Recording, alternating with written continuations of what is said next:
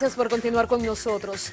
En la unidad de quemados que funciona en el Hospital Ney Arias Lora se encuentra un hombre de 65 años que se prendió fuego frente al Palacio de Justicia de Ciudad Nueva este lunes. Oliver Balbuena está en vivo desde ese centro de salud para saber el estado de este señor. Adelante, Oliver, cuéntanos qué Saludos, está buenas noches, Nairobi. Así es, con un 95% de la superficie corporal quemada y con serias lesiones, según indican los médicos de este hospital, se encuentra interno el hombre de 65 años residente en Buenos Aires de Herrera. Para el director de la unidad de quemados, doctor Eddie Bruno Vizcaíno, este informó a Noticias SIN vía telefónica que el paciente está en estado delicado. Con respecto al motivo de la acción, Polanco explicó esta mañana que se prendió fuego para llamar la atención de las autoridades. Sus reclamos están plasmados en una carta poco legible. El hombre explicó además que su caso tiene más de cinco años en los tribunales y que la supuesta contraparte quiere hacerle daño. Escuchemos las declaraciones que dio Polanco esta mañana frente al Palacio de Justicia de Ciudad Nueva. Para que así la justicia haga algo. Porque he hecho de todo y no han hecho nada. He hecho de todo y no han hecho nada. Esa mujer buscó sicario, buscó de todo. Yo he ido a toda parte. Jacqueline Pérez. Polanco se prendió fuego con un galón de gasolina y actualmente está en un proceso de rehidratación. Luego evaluarán las quemaduras para empezar con las cirugías. En la visión estelar de noticias es llena a las 10 de la noche. Tendremos detalles ampliados sobre este tema. Yo vuelvo contigo a los estudios. Oliver, gracias. La madrugada de este lunes, un voraz incendio consumió casi en su totalidad el complejo turístico Casa Bonita Tropical Lodge, ubicado en la provincia de Barahona. Según informes preliminares, los turistas que estaban alojados en el complejo fueron sacados de sus cabañas y llevados a un lugar seguro, por lo que no hay víctimas humanas hasta el momento, afortunadamente.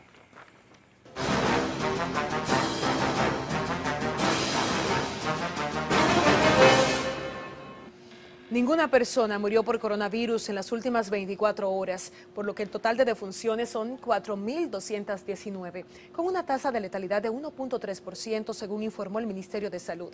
En su boletín número 634, la institución dijo además que 4.117 muestras fueron procesadas por primera vez, de las cuales 147 dieron positivo a la enfermedad, ubicando la tasa de positividad diaria en 3.57%.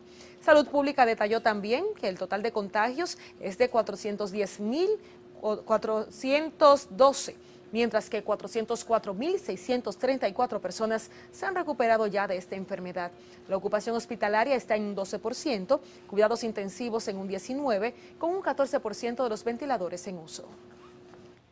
Al reconocer que durante la pandemia gran parte de los empleados del sector privado perdieron sus puestos de trabajo, el ministro Luis Miguel de Camps aseguró este lunes que al día de hoy el país ha recobrado todos esos empleos. Por su parte, el secretario general de la Confederación Autónoma Sindical Clasista manifestó que después del COVID hubo un receso de la economía, la cual no se ha recuperado totalmente. Sin embargo, señaló que las cancelaciones durante la crisis sanitaria provocaron un crecimiento en la economía informal.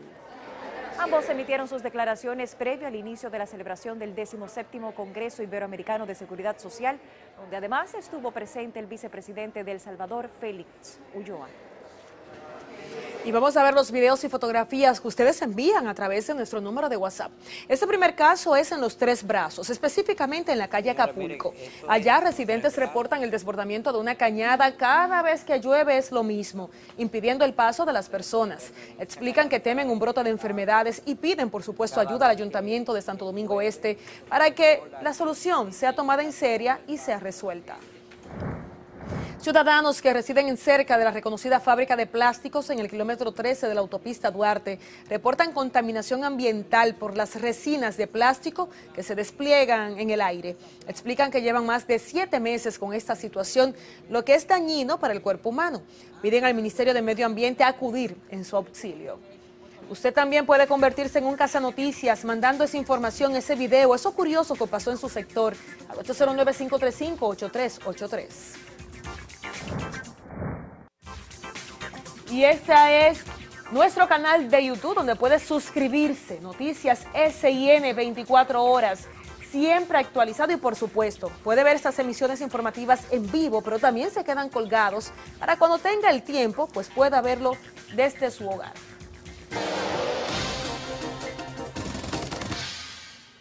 La economía dominicana está de buena suerte. Buena calificación de riesgo, atracción de muchas inversiones y el Producto Interno Bruto marchando a todo vapor. Esto lleva a pensar si no es el momento propicio para pensar en reformas estructurales. Víctor Bautista explica este tema en dos minutos. Adelante, Víctor. Buenas noches. Muy buenas noches. Saludos. En 1980, la República Dominicana era la décima economía de América Latina. Veinte años después, en 2001, pasó al escalón número 9 por encima de Guatemala y aproximándose a Ecuador. El Fondo Monetario Internacional pronostica que para 2022 nuestra economía saltará al lugar número 7 en la escala. Esto quiere decir que en los últimos 20 años, desde 2001 a 2022, experimentamos un crecimiento más rápido que en las dos décadas anteriores. Dejamos atrás a países como Ecuador, Guatemala, Venezuela, Panamá, Puerto Rico, Costa Rica, Bolivia, Paraguay y Uruguay. Se trata, desde mi punto de vista, de un crecimiento orgánico impulsado por la buena vibra, la voluntad y el carácter de los dominicanos. La estabilidad política ha sido clave en esto, pues ha contribuido con la confianza para invertir capitales. La pena es que en el trayecto son pocas las reformas importantes que se han hecho. Y mucha ha sido la corrupción que nos ha afectado desviando recursos que hubiesen servido para crecer más. Estamos en un momento de impulso colocado sobre un trampolín para dar un salto cualitativo y cuantitativo. República Dominicana ha sido en 2021 el único país de la región el lograr cambios de calificación de riesgo favorables de Standard Poor's en Fitch Rating. El círculo virtuoso se puede quebrar si no asumimos reformas estructurales, preservando la paz social y la estabilidad política. Es un tesoro que debemos cuidar. Hasta la próxima.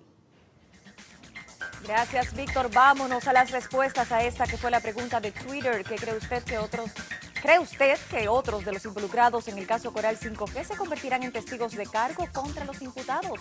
Momento de leerlos. Dice José Giovanni Cepeda. La realidad en estos casos es que nosotros como dominicanos esperamos ante todo que sí se haga justicia. No importa si alguno de estos imputados tengan que hablar en contra hasta de ellos mismos. Es tiempo de demostrar que el peso de la justicia no tiene un precio, dice él. Mario Trejo se une a la conversación diciendo, no se puede dudar nada pues el crimen los une y la cárcel los separa. Es ahí cuando aplica el dicho, sálvese quien pueda. El ingeniero Carlos Cruz se une a la conversación y dice, claro, habrá muchos que se convertirán en segundo girón para salvar su pellejo y no caer en najayo hombres e irse a disfrutar los chelitos, según Jenny y Camacho, le robaron al Estado Dominicano. Hay más comentarios, acceda a ellos con el hashtag OpíneseYenny. Gracias por haberlos compartido. Tras la pausa, el mal uso de antibióticos podría aumentar la resistencia de las bacterias, especialmente la Helicobacter pylori. ¿Sabía usted que un divorcio podría desencadenar un síndrome en sus hijos? Aquí les contamos de qué se trata. Todo nuestro contenido está disponible en nuestro canal de YouTube, Noticias SN.